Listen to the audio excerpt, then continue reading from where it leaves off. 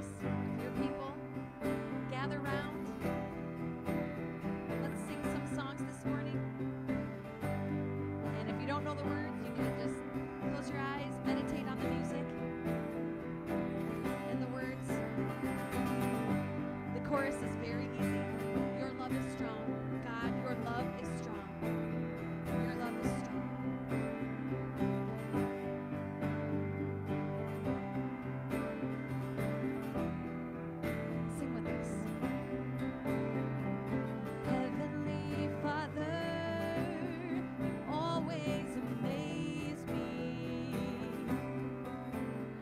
your kingdom come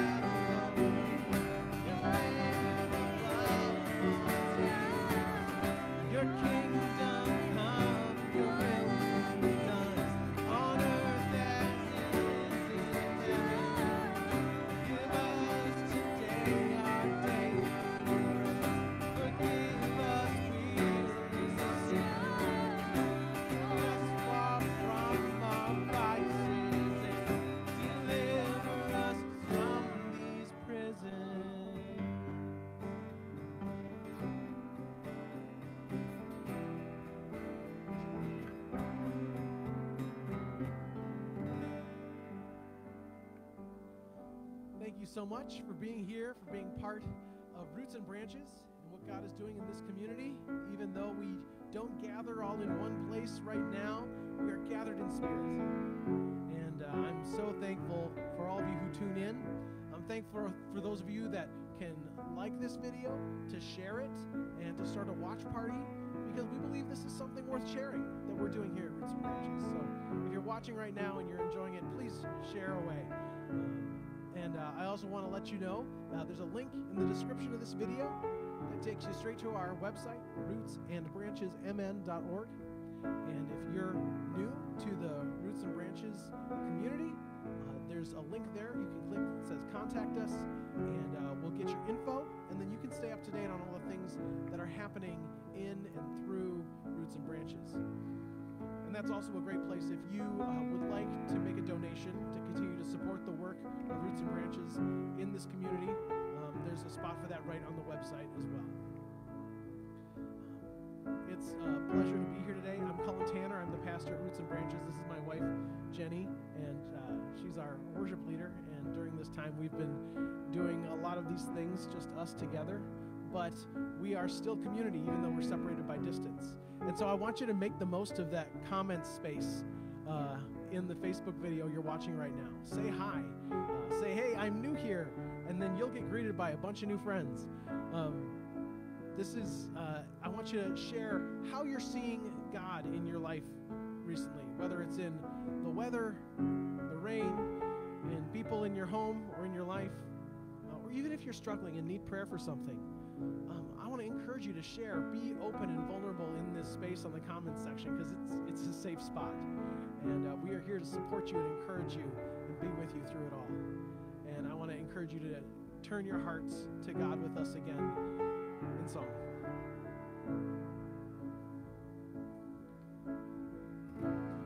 Promise maker, promise keeper,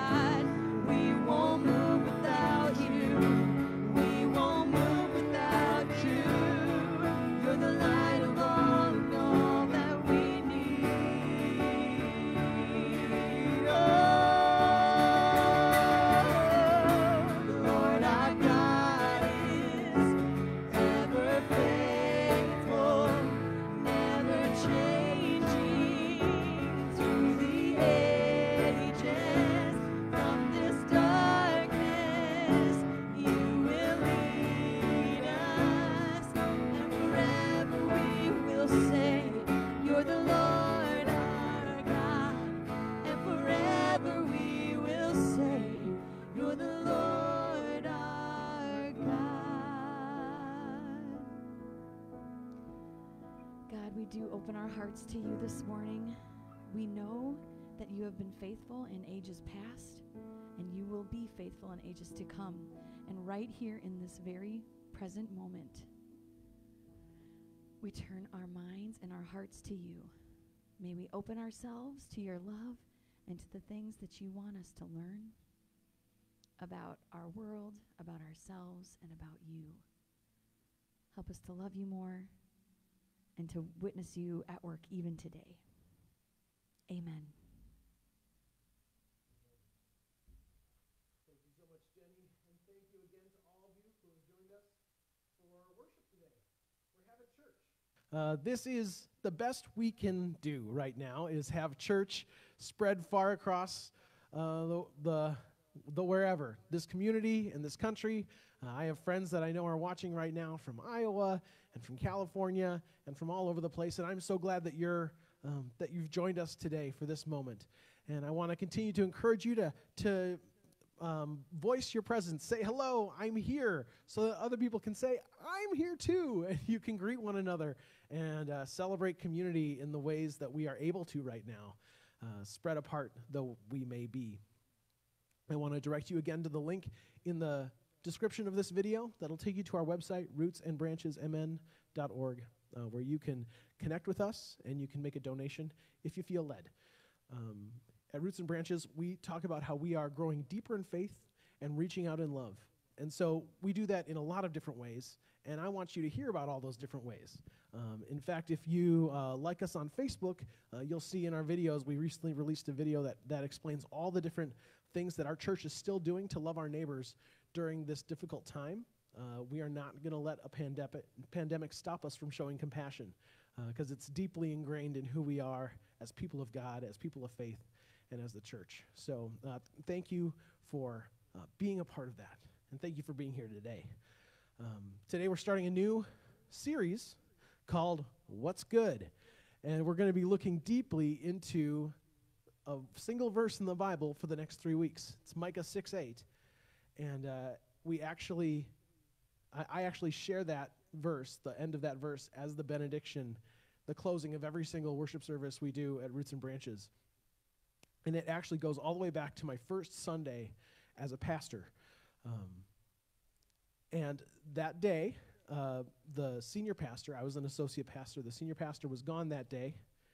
Uh, and so I was I was holding the bag for the whole worship service in a church that I wasn't familiar with, in a worship service in a style that I was not uh, accustomed to, and uh, had it all planned out from beginning to end. And then I, at the very end, I was wearing a robe and the whole deal, and I walked to the front of the platform to give the benediction. That's the final blessing that commissions people to go with God's love. And I realized this is not a thing I was ready for. I had not prepared. I didn't know what to say. And I said the first thing that came to my mind as something that I wanted to offer to people to know that God was going with them and that they were entering into uh, the work of God in the world. And I said, May you act justly and love mercy and walk humbly with God.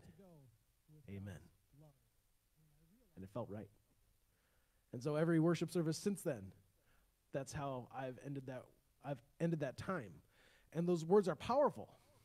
And there's something deep within them that resonated with me and that has come to resonate with this community called Roots and Branches. And so we're going to look at each of these three little ideas embedded in that acting justly, loving mercy, walking humbly with God. We're going to look at those over the next three weeks. And we'll start today by asking what it really means to act justly. Because, um, you know, even though these words stand alone so nicely, they actually come from somewhere. Um, so I'm going to read the first couple of verses that lead into that phrase uh, in Micah 6 8. So I'm starting in Micah chapter 6, verse 6, and it says, With what should I approach the Lord and bow down before God on high? Should I come before him with entirely burned offerings, with year old calves? Will the Lord be pleased with thousands of rams, with many torrents of oil? Should I give my oldest child for my crime, the fruit of my body for the sin of my spirit? And then the response is, He has told you, human one, what is good. What the Lord requires from you to do justice, embrace faithful love, and walk humbly with God. So Micah asks this question of God. He wants to know how God wants to be worshiped. How, how am I going to get forgiveness for the things that I've done wrong? And so Micah names the practices that were most common in his day, the practices that were prescribed in the, for the Hebrew people in their Bible. And Micah wonders out loud, what, what if that's not enough? What if I what if I do the normal acts of worship and that's not enough because my sins are so grievous that I, what should I do? Should I sacrifice thousands of rams? Should I pour out barrels and barrels of olive oil as a sacrifice to God? And then he goes one step further. He says, "Should I sacrifice my own child so that I can be forgiven?" And and in this particular instance, Micah actually gets a reply from God. And even though there's a divine list of do's and don'ts that you're supposed to do that are all describing what God wants from us in the Hebrew Bible, God's reply to Micah is this to do justice, to embrace faithful love, and to walk humbly with your God. That's all the worship God wants. That's the real sacrifice. That's the real practice of religion. That's what's good. And that's why this sermon series is called What's Good? Because God says, You know what is good, Micah. And then he names these three things that are the good things that are the actual practice of a person of faith. And we're going to take the next three weeks wading deep in these waters, and we're going to start with this phrase act justly. Or as some translations say, do justice. And I like that a lot. Um, when we think of justice, our minds first go to the justice, the justice system. We think of courts and judges. Uh, there's Judge Judy, there's Judge Wapner, all, all those cop shows, uh, every version of Law and Order and CSI. Uh, they've created our perception of what the justice system is and what it does. We think of systems and individuals that hand out justice, making restitution uh, for those who have been wronged wronged and also making sure that people get what they deserve, punishment for the guilty. And but when the Bible talks about justice, there's a whole lot more going on there than what happens in a courtroom. Um, the Hebrew, Hebrew word that is written here in Micah that gets translated as justice is the word mishpat. And uh, mishpat is a word that occurs over 200 times in the Hebrew Bible and basically means that you need to treat people equitably, especially as it pertains to people's rights. And the people whose rights are most likely to be violated are the people who are most in need of mishpat.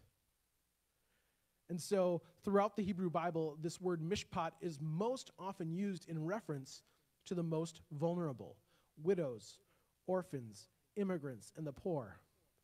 Because those people in those groups are the most likely to go without the, uh, the, the most likely to go without. They're the most likely to get trampled on by the powerful. And it's the duty of God's people to act toward them with mishpat, with justice, with equity. And today, we could probably expand this group beyond just um, widows, orphans, immigrants, the poor. There's more people who are also vulnerable on the edges of society. Uh, who are the people that are, have been completely upended by the pandemic, the people who even the slightest change in our society affects the most. I'd add to this list people like refugees, people without homes, uh, maybe the elderly, single parents. All of these groups need an extra dose of mishpat so that everyone can live into this world fully. But how is it? Here's this crazy thing in this Bible verse. It's, it says that doing justice, caring for the least and the last and the left out, that that becomes something that God wants from us more than worship. And for like church people like me, th- that sounds off. It can be a little dumbfounding at first because we're often trained that the thing that God wants from us the most is to go to church and to give our offerings to church and to serve at church. But it sounds to me like this is an invitation to go out and serve others who are maybe not in your church, maybe who you aren't even comfortable around. And it's dumbfounding at first, but it makes all the sense in the world when we think about the character of God. This characteristic of justice is an essential part of who God is. Um, Psalm 68 introduces God as a father to the fatherless, a defender of widows, of widows. Like that's God's title. Like that would be if God had a name tag and then a job description under it. That's what it would be Father of the fatherless, defender of widows, according to Psalm um, 68. And so when we reflect on that characteristic, when we, when we reflect that characteristic in our own lives, we're living in harmony with our Creator. When we're looking out for the disadvantaged, we are doing something that is deeply spiritual. Another Old Testament prophet, Amos, wrote that when we aren't creating justice in the world, our songs of praise to God are just noise. Whatever other sacrifices we make to God, they're just a waste. And the truth in, in Amos is that we don't prove that our worship to God is sincere by, by closing our eyes or by lifting our hands or by singing louder than everyone else. We show that our worship to God is sincere by living a life in rhythm with our Creator. And that means working to create a just world. On February 23rd, Ahmaud Arbery was shot and killed by two men. And that fact has never been under dispute. The shooters didn't deny it. But it wasn't until a video of the incident went viral that the justice system finally took the incident seriously. These shooters were finally taken into custody on May 7th. That's 73 days that these men were walking around free, even though they'd killed someone in broad daylight please remember that they weren't arrested because the police saw the video. They were arrested because we saw the video. This killing didn't reveal the cruelty of just these two men, it also revealed the cruelty that can be embedded in a system we call the justice system. Meanwhile, mostly white protesters brandishing semi automatic weapons are crowding state legislatures, implicitly threatening lawmakers and preventing governments from doing the much needed work that has to happen for our society to adapt and function during this pandemic. And why do I hold these two things right next to each other? And it's because the reason these protesters feel safe is because they can count on being seen as fully fledged people. And the reason that jogging while black is apparently punishable by death is that if you're not white, your fundamental personhood isn't assumed in the same way in our society. And so, if one of the main ways we reflect our love of God is through working for justice, we have got a long way to go. Those of us with voices and with privilege have to use it to benefit those who don't, whether it's speaking up for justice or supporting those who do the speaking up and the acting. It's, it's the core of what it means to be the people of God. It shows up again and again throughout our Bible, and, it's, and that's because it, it isn't a distraction from our relationship with God. It is the heart of our relationship with God. That's why at Roots and Branches, we're committed to growing deeper in faith and reaching out in love. That's the roots and the branches the and in roots and branches is really essential because we need the roots of faith to give the branches of justice meaning and nourishment. And we need the branches of justice. They're going to be a natural outgrowth of the life of faith when it's authentic. And the roots and branches at this church aren't just metaphorical anymore either. Uh, we've taken out two plots in the community garden right next door to our church so that we can work together to grow produce to share with our neighbors in need. And if you want to help with that, we've got a Facebook group, uh, Roots and Branches Community Garden, I think it's called, and you can join that and find ways that you can help uh, help us garden. And a garden really is a great way to think about doing justice. Like a garden, the work of justice means getting your hands dirty, It can be hard work. It requires a lot of patience and investment. And sometimes the seeds of justice we sow now, we don't see the fruit from them for a long time. Also, the work of justice works better when the whole community comes together to make it happen. But in the end, the fruit it bears is so very worth it. So, uh, in the comments section of this video, I want to encourage you to have a conversation about justice. What justice, what, what causes of justice break your heart? And how might God be calling you to action because of that? What are you already doing to work for justice? And what new thing are you going to do to make justice a reality? As we were singing our opening song today, Your Love is Strong, the ending words are uh, the Lord's Prayer. And, and within these words that Christians throughout the ages and throughout geography pray every single Sunday, it says, Your kingdom come, your will be done on earth as it is in heaven. And the ancient belief about what heaven is like is it's the next world where everything is complete, where everyone has enough, where everything is whole and beautiful, and where the truth is seen plain as day. And when, when we pray those words, your kingdom come, your will be done, we, we could sit back and wait for God to do that, for God to enforce God's will for God to drop the kingdom down on us from heaven. But if that's what we want, if that's what we pray, what's stopping us from doing it right now?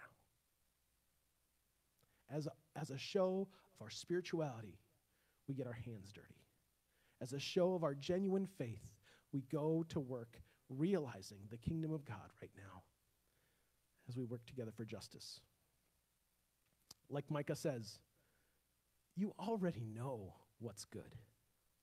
And it starts with acting for justice. Pray with me. God, we turn our hearts to you. We know that when it comes to justice in this world, we so often fall short. We're guilty of sitting back and watching instead of jumping in. It's easier to scroll by things on our Facebook feed that are distracting and distasteful than it is to, to jump in and do what we can because it feels like the problems are so big and we're so small. But God, you are not small at all. Your love is strong enough for us. And so we rest there. We ask that you work within us as individuals and as a community to make your justice known. Amen.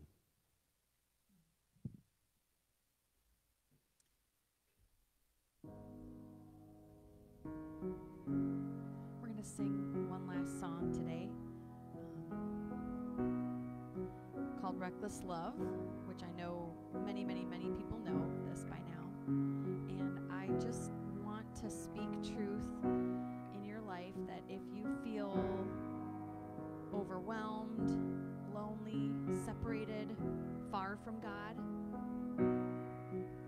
that is not reality. It is not the truth. Um, that God loves you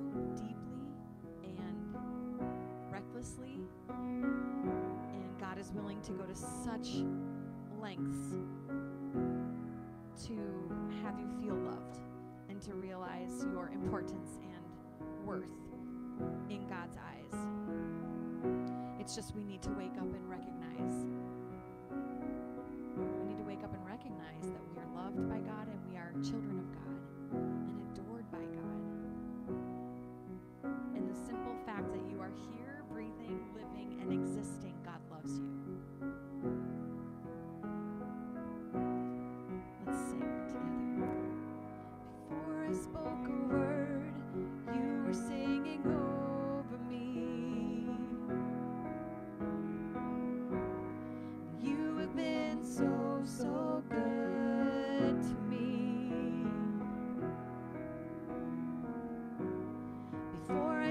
a breath.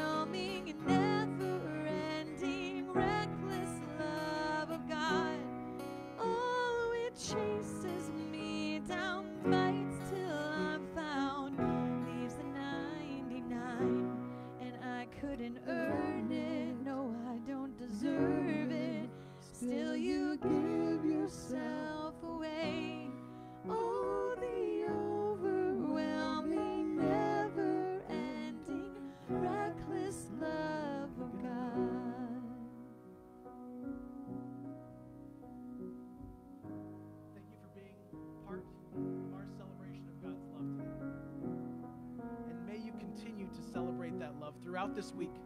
Until we meet again, whether in person or online, may God stir within you, giving you the strength and courage to act justly and love mercy walk humbly.